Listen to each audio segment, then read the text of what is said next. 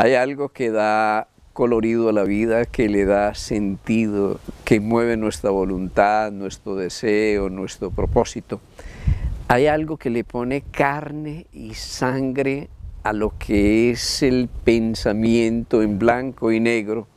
hay algo que va más allá del intelecto y más allá del cuerpo físico, pero que le da a la vez un sentido a lo que es intelectual y lo que es físico, esa sustancia pegajosa, maravillosa, que restaura nuestra integridad,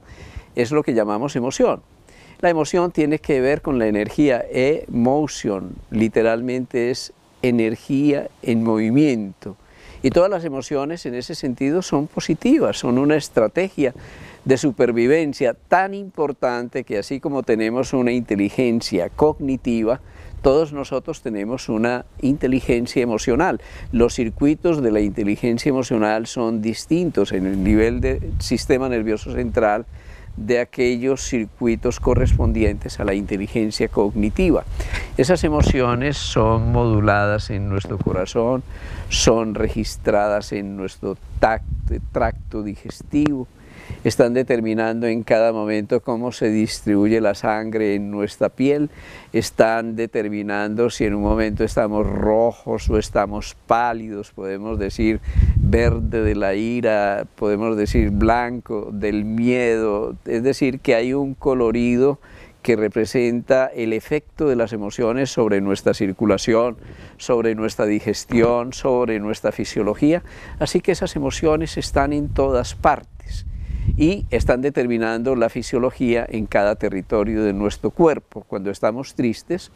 estamos tristes con el cerebro, con el corazón, con el metabolismo. Cuando estamos alegres, estamos contentos con cada una de nuestras células. Así que las emociones son como esa corriente global que está inundando permanentemente nuestro cuerpo y por eso es tan importante la educación emocional en cierta forma hasta ahora hemos sido muy inteligentes hablando del intelecto, pero hemos tenido un gran analfabetismo emocional que ha incidido en las relaciones humanas con nosotros mismos y con los otros. Si un día supiéramos que todos vinimos a ser felices, pero que la ciencia de la felicidad tiene que ver con la gestión de nuestras emociones,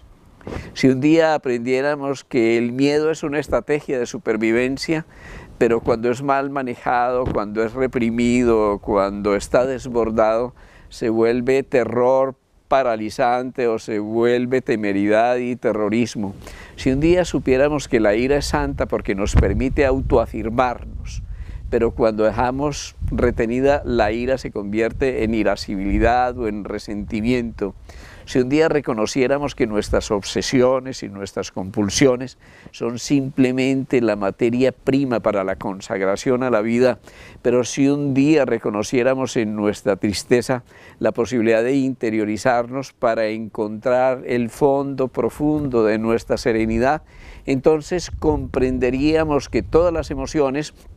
son como la paleta de colores con la que nosotros vamos elaborando la obra original de la vida y además comprenderíamos que todas las emociones cuando son fluidas se resumen y se sintetizan en un estado interior de inocencia, de levedad, de alegría que nos permite ascender a nuestra humanidad. Digamos que la alegría es la emoción del corazón y cuando nosotros en síntesis podemos vivir no desde la